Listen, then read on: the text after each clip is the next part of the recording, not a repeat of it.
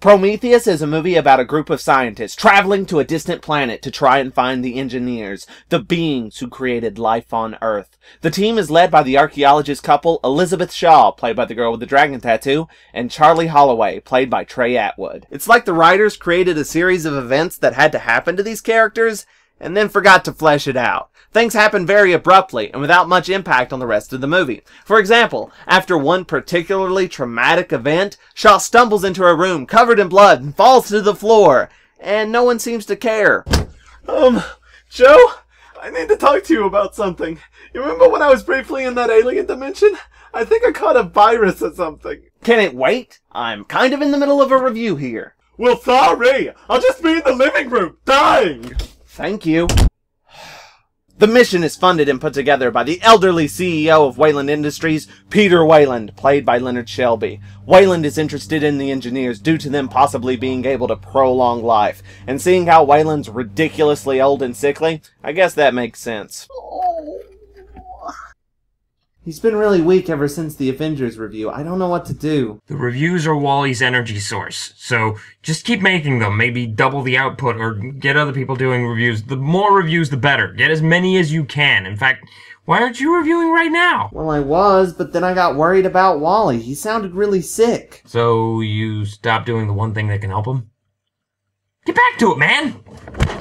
If you donate $10 to mintypineapple.com, I will review the movie of your choosing. It can be old, new, good, or really bad. It's up to you. So donate today and help a god puppet in need. I'm not feeling too great either. Really? You're gonna try and exploit Wally's pain for your own gain? Shame on you, June. Shame on you. Ah, whatever. Anyway, other members of the Prometheus crew include Weyland employee and badass Meredith Vickers, played by Rita, the goofy biologist Milburn, played by Shakespeare, the paranoid geologist Fifield, played by Ian Curtis, and the captain of the Prometheus, Janek, played by Heimdall. All of these characters are well acted, but the cast is so large that I had a hard time connecting to anyone. No one really has room to grow, and the editing is so muddled that it kills the pacing. For example, there's one scene where this guy is dying, and then it cuts to this guy exploring the planet for a while, then it cuts back to the guy dying, and I just don't care anymore. Speaking of people not caring about someone in pain, can you? You're right. I have to save Wally. I'm off to Texas! So let's talk about the Alien series. I've only recently watched them all, but I really enjoy them. Alien was realistic, fun, scary, and beautiful. I loved every second of it. Aliens developed the mythos nicely, but suffered for having a structure too similar to Alien, being more action oriented than horror, and having Bill Paxton. Alien 3 was okay despite having that huge where did the egg come from plot hole, but in the end was completely forgettable. And I loved Alien Resurrection, despite no one else liking it. It was weird, fun, different, and full of interesting ideas. I was excited when I found out that Prometheus was a prequel to Alien and was hopeful that it would explain about the space jockey. And in a way, it does. It explains what the space jockeys are, but not how or why one came to the planet in Alien. The movie's set in the same universe as Alien, but it's not a direct prequel, which is slightly frustrating because it could have easily have been tweaked into one while still leaving room for a separate sequel. My main problem with Prometheus is that it mostly seems to be setting up a sequel rather than being its own movie. It asks a lot of questions and answers none of them. What are the engineers' motivations? Did they really create us? Why are they trying to destroy us? There's also the Blade Runner-esque ambiguity of whether or not Vickers is an android, which in the end is neither answered or even relevant. At least David, played by Magneto, was interesting and essential to the story. Who's David, and what are you doing here? David is an android and the most interesting character in the movie. His story is also ambiguous, but not annoyingly so. You are unsure whether his actions are a result of developing emotions or if he's just doing what he's programmed to do. He is wonderfully acted and fun to watch. Also, the reason I'm here is to ask if you can provide Wally with some more reviews. He's not doing too well. Well, I made a review of the Wilds. I could send that with you. Sounds good. I was also wondering, what with you being an MIB agent and all, if there's perhaps some kind of technology that could synthesize whatever it is that makes up reviews? Unfortunately, I don't know what it is that makes up these reviews that Wally feeds on. But what I could do is send something along with you to watch and analyze the review that you currently seem to be doing and figure out what it is that makes up what I am now deciding to call the review juice. Release Adam!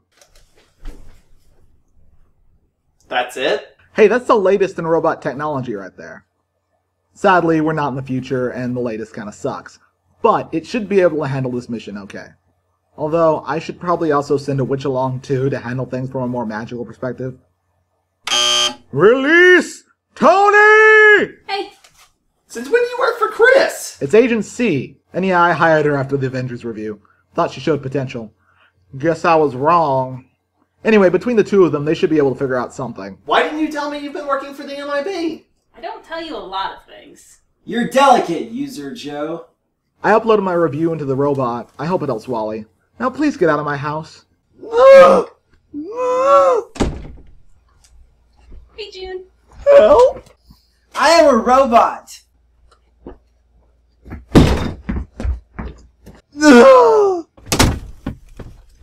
Transferring movie review into Wally. 404 error, file not found. Typical.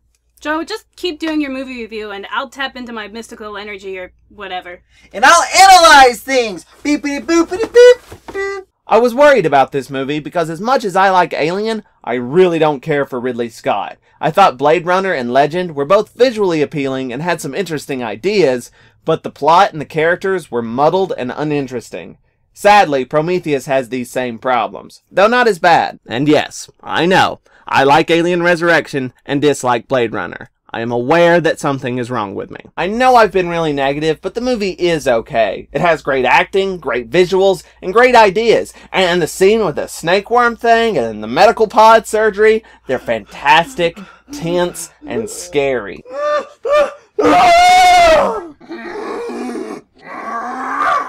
Oh dear. So all in all, I thought Prometheus was a bit disappointing, too ambitious, and too ambiguous. But with great acting, a few great scenes, and some interesting developments of the alien mythos, it's not altogether bad. Maybe go see it? This is it! Halt! Unknown entity. Toni, use your magic! Puppetropicus totalis!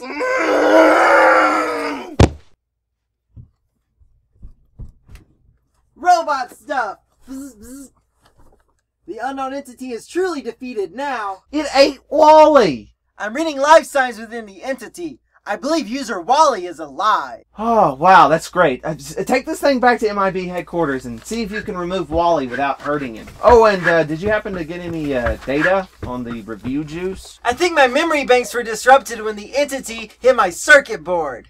Typical. Well, what about you, Toni? Did you have any luck with the review juice? I was too busy trying not to get eaten by some weird alien puppet thing! Oh, you're all alive.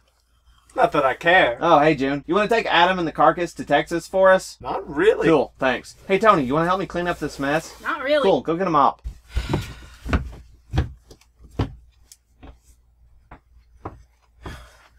Sup, bro? Did I miss anything? Eh, same old, same old. The unknown entity has devoured the puppet god. User Joe wanted to see if you could separate the two entities. Thanks, Adam. You are dismissed. Thanks, user agent Chris. It's Agent C.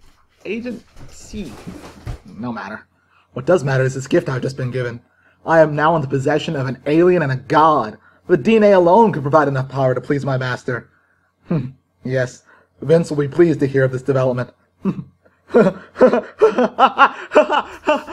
what did you say? oh, Hans. Hi. I didn't see you there. What's up? Not much. Is it cool if I crash here for the night? Not really. Cool.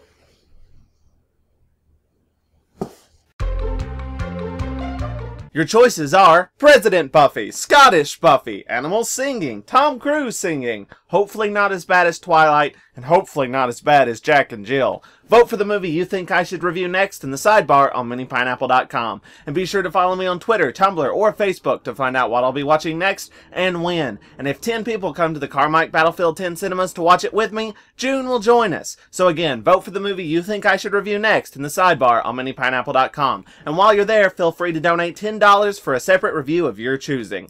See ya!